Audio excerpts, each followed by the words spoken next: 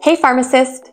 Today we're doing a full rundown of gabapentin. If you have a patient who's starting it for the first time, or if you're a patient who's been on it for quite some time, this video is for you.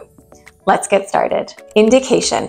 Gabapentin is an oral medication most commonly used to help manage nerve pain and epilepsy. Off-label, it's also widely used for diabetic peripheral neuropathy, fibromyalgia, restless leg syndrome, generalized anxiety, and more. For patients, the simplest way to explain this is that gabapentin helps calm down overactive nerve signals that cause pain, burning, tingling, or seizures. Mechanism of action. Gabapentin is often mistaken as working on GABA receptors, but it doesn't. The name GABA is chemically related to GABA, but does not directly act on GABA receptors. Instead, gabapentin binds to the alpha-2 delta subunit of voltage-gated calcium channels in the central nervous system. This decreases calcium intake, which then reduces the release of excitatory neurotransmitters like glutamate and substance P. The result?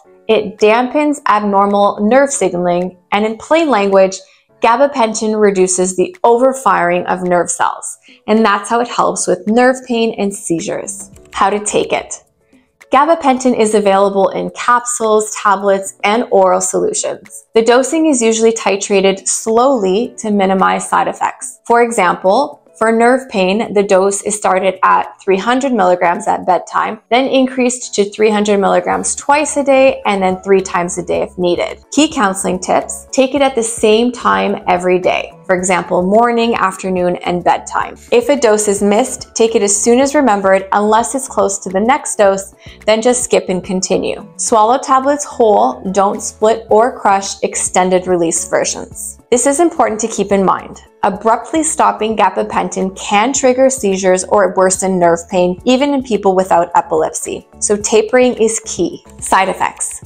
Common side effects of gabapentin include drowsiness, dizziness, fatigue, weight gain, peripheral edema, or coordination issues. Let's take a second to talk about dizziness and drowsiness because they are the most common reasons why people stop the medication. They usually happen early in therapy or with dose increases. Reassure patients that these side effects often go away once the body adjusts. Starting low and going slow really helps minimize them. Also, gabapentin may affect concentration or coordination, especially in older adults. That's why fall risk is an important counseling point in seniors. Drug interactions. Gabapentin has minimal metabolism, so it doesn't interact much with our enzymes, but there are still interactions to note, such as antacids containing aluminum or magnesium, which can reduce gabapentin absorption. Advise patients to take gabapentin at least two hours after an antacid. CNS depressants like opioids, alcohol, benzodiazepines can enhance sedation and increase risk of respiratory depression, so that's an important one to keep in mind. Hopefully this helps you with counseling your next patient. If there are any other meds you want me to break down, please let me know and I'll see you next time. Bye, pharmacist.